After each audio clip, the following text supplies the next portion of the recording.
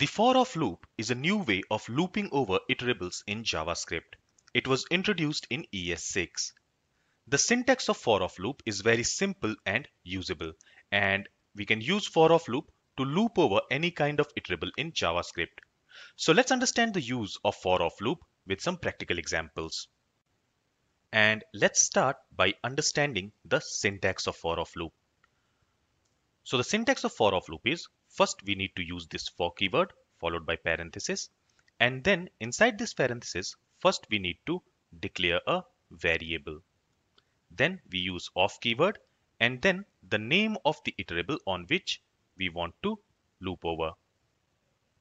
And then we use curly braces and inside this curly braces we write the logic. So this is the syntax for the for of loop. Let's comment this syntax. I will keep it for your reference. And now let's use this for of loop to loop over this students array. So let me copy this syntax. Let's paste it here. And here we are going to loop over an array. So in order to use this for of loop to loop over this students array, first we need to declare a variable. Let's call this variable item. Then we use of keyword followed by the name of the iterable. So here the name of the iterable is students. So we want to loop over this students array. Now here what will happen is when this for of loop will start iterating over the students array, for each iteration, for that corresponding iteration, the element will be assigned to this item variable. So for example, for the first iteration, this element John will be assigned to this item variable. For the second iteration, this element Mary will be assigned to this item variable.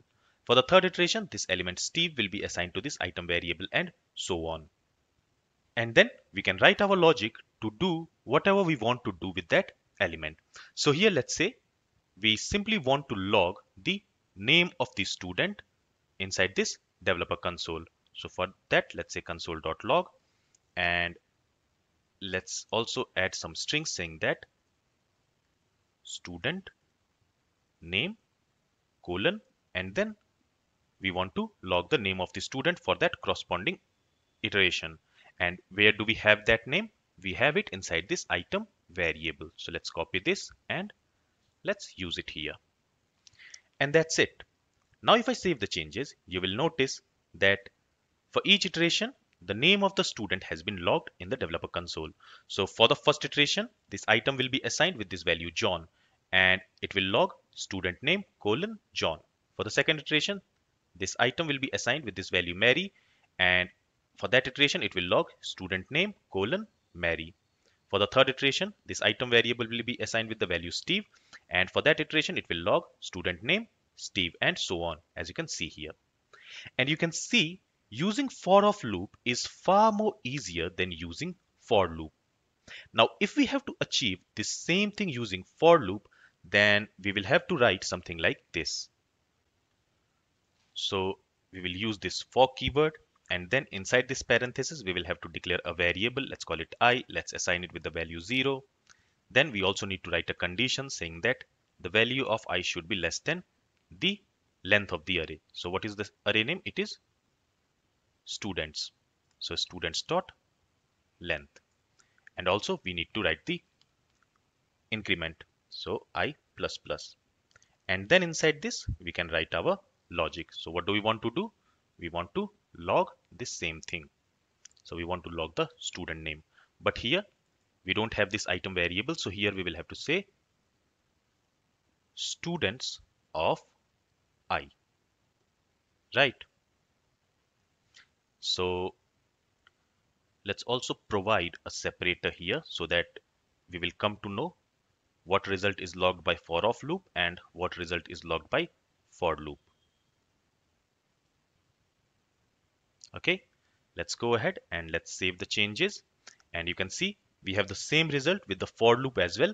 But using for of loop syntax, as you can see, is far better or easier than using the for loop. Alright, now we can also loop over a string using for of loop. So let's see how to do that. So here we already have a string called str and we want to loop over this str string and we want to log all its characters in the developer console. So all the characters which we have inside this string, we want to log it in the developer console. So for looping over this string, again, we can use for of loop. So let's say for, then we have to declare a variable. Let's call this variable s of the name of the iterable, which is str. So str. And what do we want to do here? We simply want to log each character in the developer console. So console.log, we want to log s. Let's save the changes. And here you can see all the characters which we have inside this str variable has been logged here in the console. So this is what a for of loop is. A for of loop is used to loop over iterables in JavaScript. You can also use for of loop to loop over maps, sets, and other data structures. Now we have not talked about maps and sets yet, but when we will talk about maps and sets, at that time I will also show you how to loop over maps and sets using for of loop. Now, before wrapping up this lecture, let me show you one interview question which can be helpful when you are facing a JavaScript interview and where the for of loop can be useful. So let's first comment these codes. So I will keep it for your reference. And let's say, so this question has been asked many times in the JavaScript interviews. So the question is, write a function to count the length of a string without using the length property. So here we have a string called str. Now we want to count the number of characters, that means the length of this string, without using the length property. So let's go ahead and let's see how we can do that. So let's write a function and let's call it count string length. Okay, and this function will take a parameter, the string, for which we need to count its length. Now, we can simply count the length of a string by using length property, right? So we can say str dot length and it will give us the number of characters a string has. But here in the question, it is said that we cannot use the length property. So how can we do that without using the length property? For that, we can make use of for of loop. So first, let's go ahead and create a variable called count and let's set it to 0. Okay, then let's use for of loop here. So for let s in str and for each iteration we want to increment the value of this count variable by 1 and finally when the loop is over we want to return the count variable.